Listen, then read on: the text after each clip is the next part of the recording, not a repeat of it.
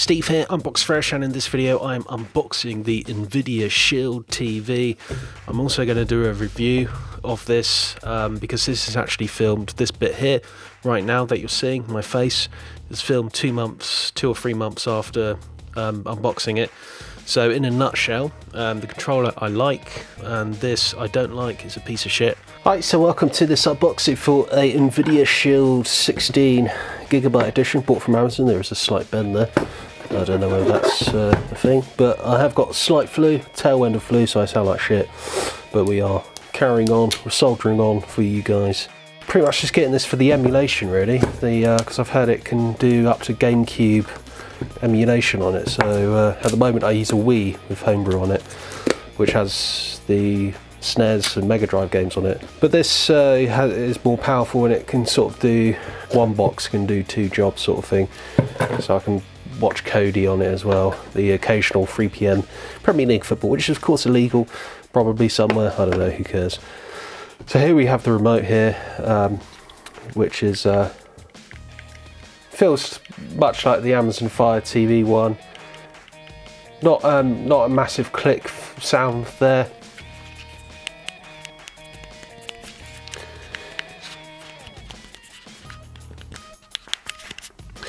Um, don't know whether you heard that or not. Yeah, it looks right. Already it's got fingerprints on it. I assume those are mine. Um, whether it's a returned on Amazon. Bit of, bit of uh, fluff, bit of uh, white specks on there. I don't know whether you can see that or not. Looks like it's already been used. There's dirt on there. Dirty. Whether that's um, a standard thing with new products from Nvidia. Comes with uh, dandruff give it a blow. Yeah, there's there's quite a lot of dirt on here. Fingerprint marks, yeah, fingerprint marks. So on the back you've got your power, Ethernet, HDMI 2.0 uh, compatible. I think a 1.54 cable will work, but if you've got for HDR, you want to use a 2.0 HDMI cable, which is probably, I mean, they're, they're probably all HDMI cable uh, 2.0 now. You've got two uh, USB 3. That one there, apparently you connect that to your PC somehow and that one is a standard USB 3. They're both USB 3, um, but they haven't coloured. They're not blue coloured, so that's interesting. Get a grill there for heat. Uh, Phillips screwdriver there in case you want to open it up. I'm sure it's all proprietary in there. Got the orange glow there. I thought actually that would light up. Dirty. This is obviously dirty. This bit here, styrofoam. That's quite a nice um, thing there. Sort of soft but hard. Here we have the uh, control pad. As you can see, it's got white specks there, bits of dirt on it. It's not exactly impressive. Usually, uh, they've obviously saved, scrimped on little bags for them to stop them getting dirty. Feels quite nice. D-pad feels okay. It's probably similar to the Xbox One D-pad, maybe a bit better actually. It's quite a nice feel actually. Uh, say it looks uncomfortable, but it feels nice. It's got a nice grip actually you kind of it's more grippy than an Xbox One controller, for example.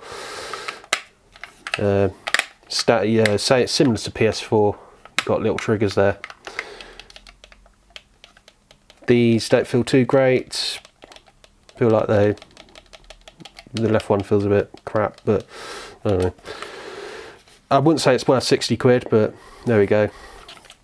Yeah, you got the uh, pad there as well private listening. With the remote, you did have private listening, but with the new one, you've not got it. You've just got a coin slot. Uh, you just got a little slot to put rechargeable batteries in. IR remote. We get a sheet of paper here, quick start guide, plug it into your TV, USB. You get a USB cable here, so that's, um, I assume that's USB 3, it's not blue. Um, and you, you, this is your charging cable for the uh, pad. It's probably about a meter long, by the looks of it support guide, loads of different languages in here. Russian, Spanish, German, Italian, French, good old English. And we've got a little pop-up thing there. Little power adapters there, so I want the UK one. God save the Queen. If it comes out, there we go. Um, then we've got this. Clicks in. Standard thing really. Uh, this is uh, whatever that is, freeze frame it and have a look. So that's probably about a meter long, again 1.5. So that was the unboxing video of the Nvidia Shield um, 16 gig 2017 model, which you can buy from Amazon. I got it uh, for about 185 I think. First of all, the box itself is tiny, takes up a similar footprint to an Amazon Fire TV. It has a cool slit of green at the front, which you can turn off. I personally have it. Um, uh, I face the back of it, so I can plug, you know, USB um, hard drives in and out. Um, I bought this for it as well, which is for four terabyte. My passport Western Digital hard drive, which you can put your um, acquired video files on and um, emulators and stuff. The remote uh, I've grown to dislike quite a lot. It's um, it sometimes just has a mind of its own. I've tried replacing the batteries, which are really cheap batteries. These are the batteries you want. Um, all the links are, are going to be in the video description and on unboxfresh.com. But I put new new ones of these in, and it's still a bit crap. Uh, I've gone in and deleted some like preferences, some Bluetooth preferences, and see if that helps. But yeah, the the remote itself it isn't great. You know, I just you just want a physical remote. When you press the button, it actually does something. With this, sometimes you can wait up to ten seconds for it to actually register press, and even a bit has chipped off at the bottom of the remote there. Um, possibly because I was just getting pissed off that it wasn't working. It also has a touch thing here, um, you can disable the volume. Basically, if you do up and down, it has a volume control here, but it's hard half the time you you go like that to do the volume, and it doesn't register, and you're like, oh come on, and then you end up putting it full volume. So that doesn't work very well. You can disable it in settings. If you go to HDMI CEC, you can fiddle with that and turn it off. Uh, double tap to play pause. That so that's quite handy because obviously you, you save wear and tear on that. Sometimes it's just easier to just double tap. The remote itself is quite shallow. Um, it's not very thick. It sort of slips out of your hand like that. It kind of just slips out like that. There's not much travel when you press the button as well. So yeah, the, the remote I don't like. It's crap. With this as well, you just pop that open and put the watch batteries in. With the box as well, there is no power on and off. You have to use the pull the power cable off, which is a reversible connector. I think it's I, I don't think it's USB C. It's a similar setup to USB C, but it is proprietary, I think, um, and it is quite stiff to get out. So you have to kind of pick the the unit up and just pull it out, sort of thing. Um, I've only had to do that, I think, once or twice since I've had it. Usually. I've noticed recently this drive, um, while you're using the Shield, it registers as 0B, um, so it's registering the drive, but it's not showing that there's any data on it. So I have to restart the shield or just pull the plug out, the power cable, and plug it back in again because there's no physical button. You know, it's like, oh, it's an always on device. Oh, it's always on. I've got a beard and I'm a creative wanker. Fuck off. Just give me a physical switch, a physical button that turns it on and off. So, NVIDIA did say that the remote should last for 12 months but within two months of owning it, it's kind of got on, you know, it's got a mind of its own. Also worth pointing out that the Fire TV remote, the one with voice command and the latest 4K remote, will work with the Fire with the Shield TV. Um, apparently, even the voice control works as well, but you have to set it up as a a Shield accessory, not a Bluetooth accessory. But that should work. That's the Fire TV remote is 20 quid. This is apparently 50 quid, 40 quid. So I would probably just buy a Fire TV remote at the same time as buying the Shield and just decide which one you want to take. And if you don't like the Fire TV, just send it back. So moving on to the control pad, uh, I really like it. At first, with all the angular stuff going on there, it does look like it will be uncomfortable, but actually, it is really comfortable. It's probably more comfortable than the Xbox One remote, which I find with that, my fingers sort of go over the top there and they get a bit sore. Give it sort of eight or nine out of ten. The only thing is the buttons are slightly further apart. So if I'm playing Road Rash 2 on the Sega Mega Drive, um, it's kind of you got to you got to keep the B button down, and then you've got to move to the C there. So that's a bit annoying. But overall, it's a nice it's a nice feeling remote.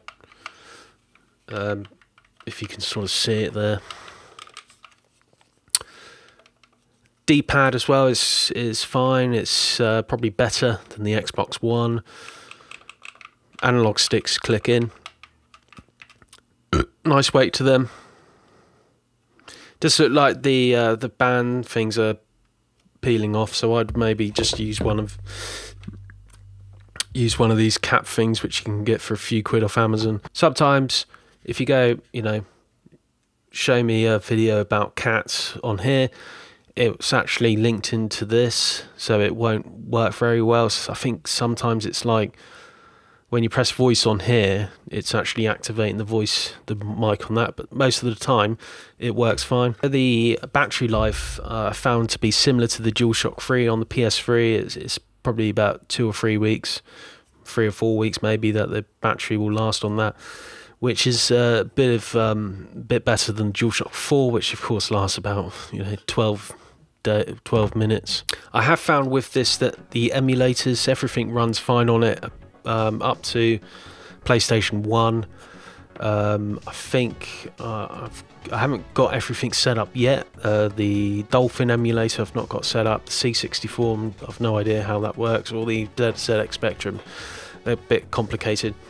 But what I've got is a 4 terabyte Western Digital hard drive, which um, seems to be working fine.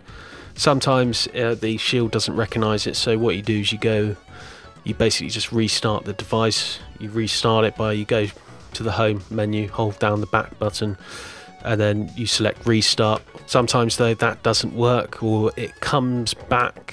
The hard drive is registered when you come back, but sometimes you have to physically turn the turn the machine off, uh, which the only way you can do is pull the power plug out, which is a pain in the ass because you have to like it's quite a thick grip on there.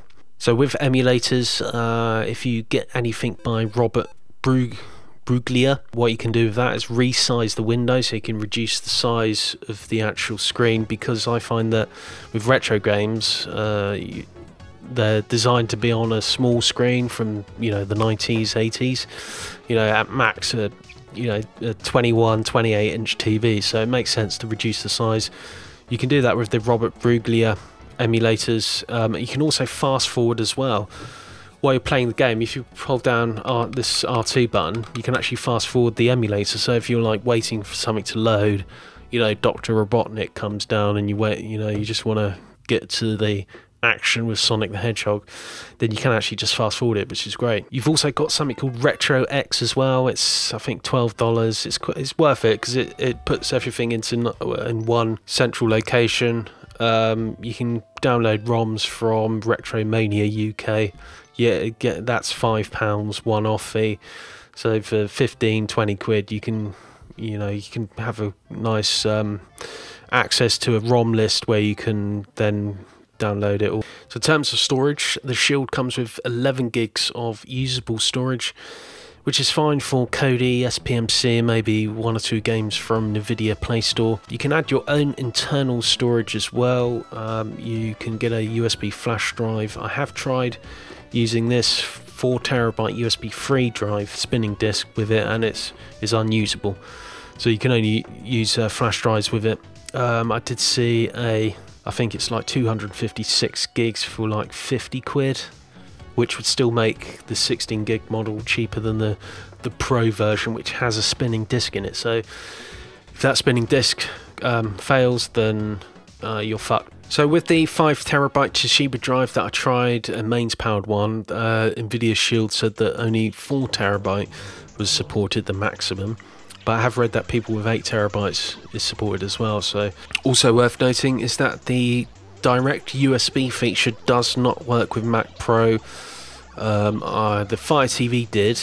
Um, the Android file transfer app popped up as soon as I've plugged the Fire TV app um, in, but it doesn't work with NVIDIA Shield. You can just use, uh, you can set up a local network thing and transfer files across, and or just plug in your um, hard drive into somewhere. What you can do is sideload Chrome on there and use like a pirate website and just watch like 3 p.m. Premier League games.